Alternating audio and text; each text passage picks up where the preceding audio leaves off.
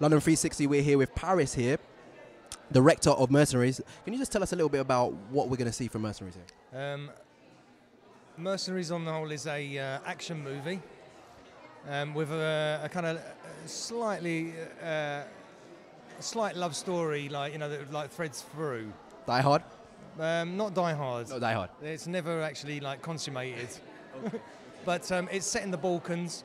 It's a what-if story um, that's loosely based on uh, Ratko Mladic and Radovan Karadzic that were at large after the last Balkan conflict. Um, and uh, when Radovan Karadzic was captured, I, I had this kind of like brain spark and thought, what if Ratko Mladic, the, the last of the three dictators who's still at large, came back out of hiding after 15 years, post Balkan conflict, and picked up where he left off? What would happen, and what would be the reaction of the US and the British, like you know, uh, governments? And it's that kind of story.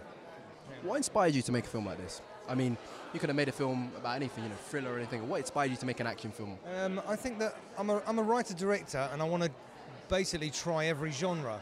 My last um, feature was a, a, a bank robbery, a heist movie, and I wanted to steer away from anything similar. Like I didn't want to do any kind of gangster films or anything like that. Although I was being offered certain screenplays that were kind of gangster based, um, and I didn't want to be typecast as that kind of director.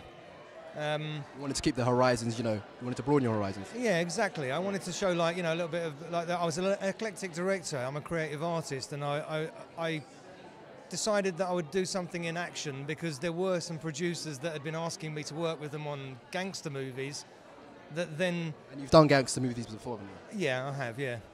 Um, You just don't want to be, yeah, typecast, obviously, because obviously some directors in the industry get typecast with being a gangster or exactly, action or something. exactly, exactly. So um, I decided to like pitch an action movie to them, and um, I already had a location down in East Sussex that belonged to a friend of mine called Pippingford the Estate, and I'd written this screenplay basing it around the estate, um, and it could double as the Balkans, or it could double as Africa even if we put a lot of red like soil on the ground.